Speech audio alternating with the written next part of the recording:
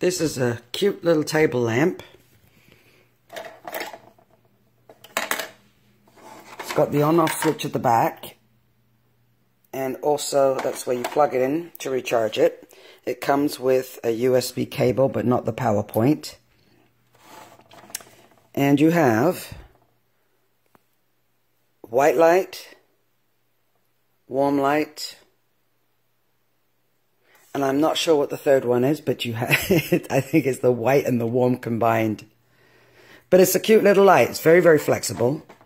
And it also comes with a bonus of, I can do this one-handed,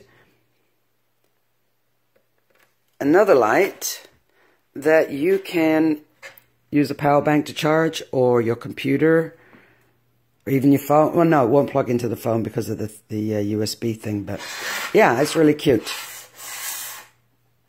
Come in handy. I've got it sitting next to my computer.